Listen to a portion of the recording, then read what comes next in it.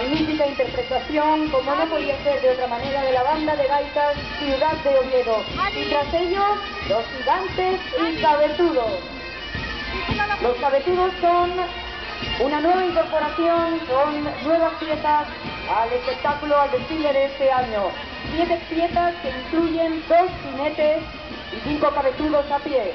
Un cazador, un mexicano, un Sancho Panza, un pirata. Los gigantes, por su parte, son las piezas originales de los años 50, conservadas con mimo y que incluyen a los personajes asturianos por excelencia, Pinón y Telva. Y tras ellos, la carroza asturiana, cosas de...